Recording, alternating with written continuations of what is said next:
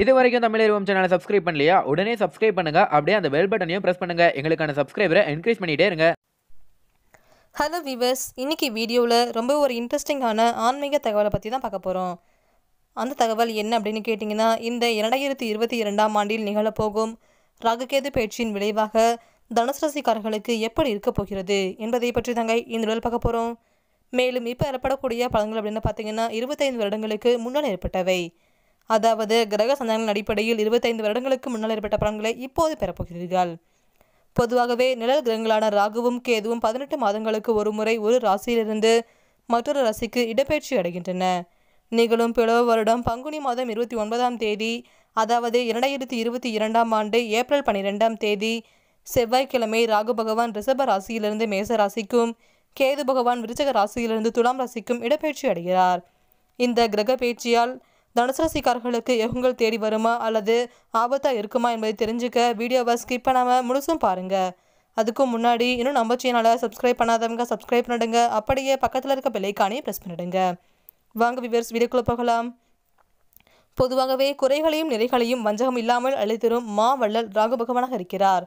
பொருளாதாரத்தில் அதல பாதாளத்தில் இருப்பவரை திடீரென கோடீஸ்வரர் ஆக்குபவரும் அதே போன்று கெட்ட சகவாசங்களுக்கும் காரணம் இந்த ராகு பகவான் தான் மேலும் ஞானக்காரகன் ஞானம் அருளுபவர் புகழ் பதவி அதிகாரம் போன்றவற்றை தருபவர் கேது பகவானாக இருக்கிறார்.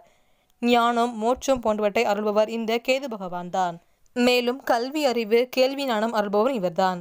ஒருவரின் ஜாதகத்தில் ராகு கேது எந்த ராசியில் இருக்கிறார்களோ எந்த கோள்களினால் பாதிக்கப்படுகின்றனரோ எந்த கோள்களின் சேர்க்கை பெற்றுள்ளனரோ அதற்கு தக்கவாறு பலன்களை முழுமையாக தருவார்கள். அதாவது குரு பயிற்சி சனி பயிற்சியைப் போலவே ரகுகேது பயிற்சியும் இன்றைய காலகட்டத்தில் முக்கியமானதாக இருக்கிறது. ராகுவும் கேதுவும் ஒரு ராசியிலிருந்து இன்னொரு ராசிக்கு செல்லும் காலகட்டத்தை தான் நாம் ராகுகேது பயிற்சி என்கிறோம். இரண்டாயிரத்தி இருபத்தி இரண்டாம் ஆண்டில் ஏப்ரல் பனிரெண்டாம் தேதி ராகுகேது பயிற்சி நிகழவிருக்கிறது. ஜோதிடத்தில் கேதுவை காட்டிலும் ராகுவுக்கே முக்கியத்துவம் அதிகம் கொடுக்கப்படுகிறது. கரும் பாம்பு என்று அழைக்கப்படும் ராகு புகக்காரனாக இருக்கிறார். செம்பாம்பு எனும் கேது மோட்சக்காரனாக இருக்கிறார். இவர்கள் எந்த பாவத்தில் அமர்கிறார்களோ அந்த பாவத்தை தாக்கமடைய செய்வர்.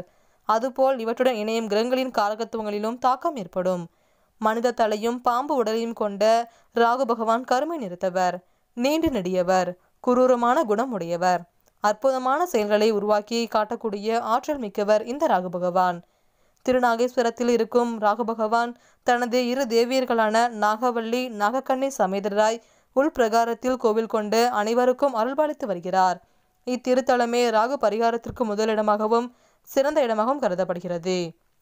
நவ கிரகங்களின் நிழல் கிரகங்களான ராகு கேதுவுக்கு என தனியாக வீடுகள் ஒதுக்கப்படவில்லை.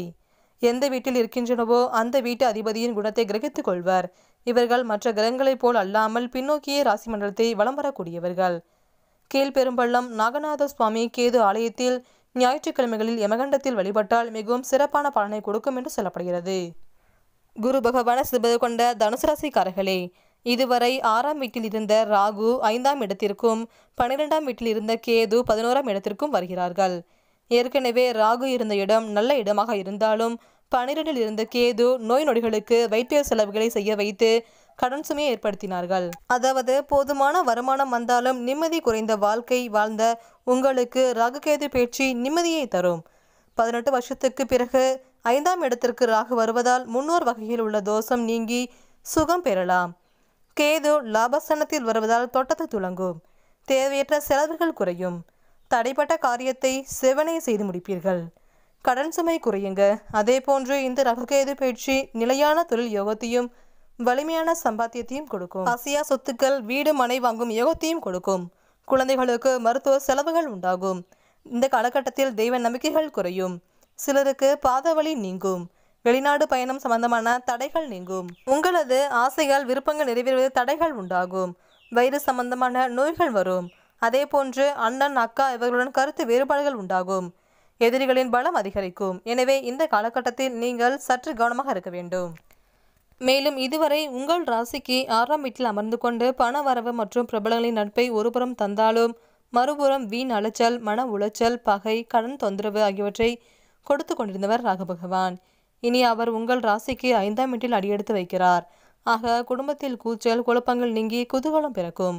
கணவன் மனைவிக்குள் வெடிப்ப சண்டை விலகும். ஆனாலும் புத்திஸ்தானமான ஐந்தாம் வீட்டில் ராகு அமர்வதால் சந்தேக கண்ணுடன் எல்லோரையும் பார்ப்பீர்கள். அதே நேரம் எடுத்த காரியங்களில் வெற்றி உண்டாகும். வீண் அலைச்சல் டென்ஷன் முன்கோபம் குறையும். குடும்ப வருமானத்தை உயர்த்த அதிரடியான திட்டங்களை தீட்டுவீர்கள். வாழ்க்கை துணைவருக்கு அவர் நீண்ட நாள் கேட்டுக்கொண்டிருந்த ஆபரணங்களை வாங்கி தருவீர்கள். பிள்ளைகளின் அடிமனதில் இருக்கும் ஆசைகளை கேட்டறிந்து பூர்த்தி செய்வீர்கள். அவர்களின் வருங்காலம் கருதி முக்கிய முடிவுகள் எடுப்பீர்கள். அதே நேரம் அவர்களுடன் அடிக்கடி சண்டை சச்சரவுகள் வர வாய்ப்பு உண்டுங்க. மேலும் உங்கள் கருத்துக்களை அவரிடம் திணிக்க வேண்டாம். இந்த காலகட்டத்தில் கர்ப்பிணி பெண்கள் நீண்ட தூர பயணங்கள் தவிர்ப்பது நன்மையை தரும். மேலும் கர்ப்ப சிதைவு ஏற்படக்கூடும் என்பதால் சற்று கவனமாக இருக்க வேண்டும். உங்களை எதிர்த்தவர்கள் அடங்குவார்கள். சொந்த பந்தங்களின் அன்பு தொல்லைகள் குறையுங்க. என்றாலும் அவ்வப்போது பணம் கேட்டு நச்சரிப்பார்கள். நெடுநாளாக நீங்கள் எண்ணிக்கொண்டிருந்தபடி குடும்பத்துடன் சென்று குலதெய்வ கோவில் பிரார்த்தனை நிறைவேற்றி வருவீர்கள். இந்த காலகட்டத்தில் பார்த்தீங்கன்னா வியாபாரத்தில் தடுமாற்றம் நீங்கி புதிய திட்டங்களை செயல்படுத்துவீர்கள் உங்களின் அனுபவ அறிவால் சாதிப்பீர்கள். பழைய சரக்குகள் விற்று தீருங்க. உங்களது பாக்கிகளை கொஞ்சம் கொஞ்சமாக கனிவாக பேசி வசூல் செய்யுங்கள். வாடிக்கையாளர்களை அதிகப்படுத்தும் விதமாக கடையை விரிவுபடுத்தி நவீனமயமாக்குவீர்கள். வேலையாட்கள் பொறுப்புணர்ந்து நடந்து கொள்வார்கள். மேலும் ஹோட்டல் இரும்பு கமிஷன் எண்ணெய் வகைகளால் ஆதாயம் அடைவீர்கள். உத்தியோகத்தில் உயர் அதிகாரியுடன் மோதல் போக்கு நீங்குங்க. உங்களின் திறமைகளை வெளிப்படுத்துவீர்கள். இந்த காலகட்டத்தில் சிலருக்கு வேலை சுமை குறையும். சக ஊழியர்கள் ஆதரவாக நடந்து கொள்வார்கள். வெகு நாட்களாக எதிர்பார்த்த சம்பள உயர்வு இப்போது கைக்கு வரும். அயல்நாட்டு தொடர்புடைய நிறுவனங்களிலிருந்து புதிய வேலை கிடைக்கும். கலைத்துறையினருக்கு புதிய வாய்ப்புகள் தேடி வரும். வீண் வதந்தியிலிருந்து விடுபடுவீர்கள்.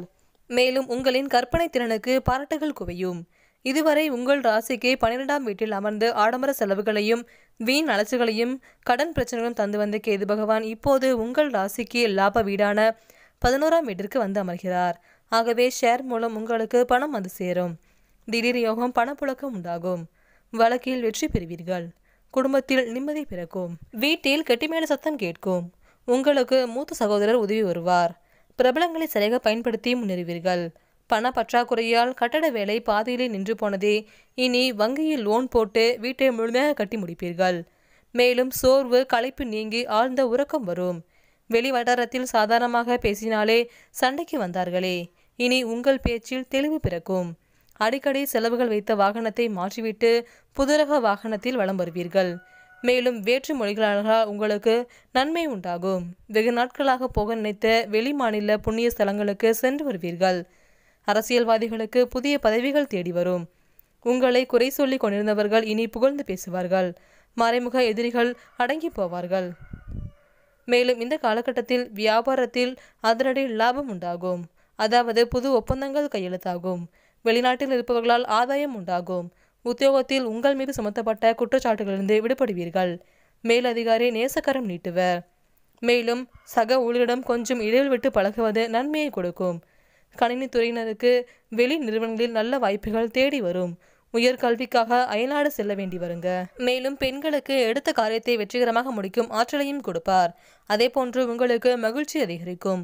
ராகு சாதகமாக அமைந்திருக்கும் சூழ்நிலையில் இந்த புத்தாண்டு பிறக்கிறது. அதாவது தமிழ் புத்தாண்டு பிறக்கும் இந்த சூழ்நிலையில் ஆண்டை முற்பகுதியில் ராகுவும் பிற்பகுதியில் கேதுவும் நன்மைகள் தருவார்கள். இதனால் இந்த ஆண்டு உங்களுக்கு சீரும் சிறப்புமாக இருக்குங்க. அதாவது குரு பகவான் மூன்றாம் இடமான கும்பராசியில் இருக்கிறார். இது சிறப்பான இடம் என்று சொல்ல முடியாது. பொதுவாக குரு மூன்றாம் இடத்தில் இருக்கும்போது உங்கள் நிலையில் மாற்றம் ஏற்படும். அதாவது வேலையில் அதிக கவனமுடன் இருக்க வேண்டும். அப்படியானால் குருவால் பிற்போக்கான பலன்கள் தான் நடக்குமோ என்று அஞ்ச வேண்டாம். காரணம் குரு சாதகமற்ற நிலையில் இருந்தாலும் குருவின் அனைத்து பார்வைகளும் சாதகமாக உள்ளன. எந்த இடையூறையும் அவரது பார்வை உடைத்து எரியும். அதாவது இந்த காலகட்டத்தில் உங்களுக்கு பண வரவு இருக்கும். உங்களது தேவைகள் பூர்த்தியாகும். தம்பதியினரிடையே ஒற்றுமை ஏற்படும். உறவினர்கள் உதவிகரமாக இருப்பர். உங்களை புரிந்து கொள்ளாமல் இருந்தவர்கள் உங்கள் மேன்மையை அறிந்து சரணடையும் நிலை வரலாம். தடைப்பட்டு வந்த திருமணம் நடக்க வாய்ப்பு உண்டாகும். அதாவது ஏப்ரல் பதினாலாம் தேதி பேச்சியடைந்து நான்காம் இடமான மீனராசிக்கு மாறுகிறார். இதுவும் சிறப்பான இடமில்லை. அதாவது குரு மன உளைச்சலையும் உறவினர் வகையில் வீண் பகையும் உருவாக்குவார். அவர் இரண்டாயிரத்தி இருபத்தி மூன்று ஏப்ரல் இருபத்தி இரண்டாம் தேதியன்று ஐந்தாம் இடத்திற்கு செல்வதால் நன்மைகள் அதிகம் தருவார். மேலும் கேதுவால் எந்த பிரச்சனையும் முறியெடுத்து வெற்றிக்கு வழி காணலாம் இதனால் துணிச்சல் பிறக்கும் பண வரவு கூடும். உறவினர் வகையில் வாக்குவாதத்தை தவிர்க்க வேண்டும். புதிய வீடு மனை வாங்க அனுகூலம் உண்டாகும். மேலும் இந்த காலகட்டத்தில் தடைபட்ட திருமணம் போன்ற சுப நிகழ்ச்சிகள் கைகூடும். குழந்தை பாக்கியம் கிடைக்கும். சகோதரிகள் மிகவும் ஆதரவுடன் இருப்பார்கள். மேலும் இன்னைக்கு நம்ம வீடியோவில் என்ன பார்த்தோம் அப்படின்னு பார்த்தீங்கன்னா இந்த இரண்டாயிரத்தி இருபத்தி இரண்டாம் ஆண்டில் நிகழப்போகும் ரககேதி பேச்சின் விளைவாக தனுசு ராசிக்காரர்களுக்கு என்ன விதமான பலங்கள் நடக்கும் என்பதை பற்றி பார்த்தோம். அதாவது இந்த காலகட்டத்தில் தனுசு ஒரு சில இடங்கள் இருந்தாலும் அதிர்ஷ்டமாக இருக்கிறதுங்க. இந்த தகவல் உங்களுக்கு பயனுள்ளதாக இருந்திருக்கும். இந்த தகவல் பற்றிய உங்களுடைய கருத்துக்களை கமெண்டில் பதிப்பிடுங்க. இந்த தகவல் உங்களுக்கு பிடிச்சிருந்தால் லைக் பண்ணுங்க ஷேர் பண்ணுங்க. மற்றும் இது போன்ற பல சுவாரஸ்யமான தகவலை தெரிந்து கொள்ள சேனலை சப்ஸ்கிரைப் பண்ணுங்க. தேங்க்யூ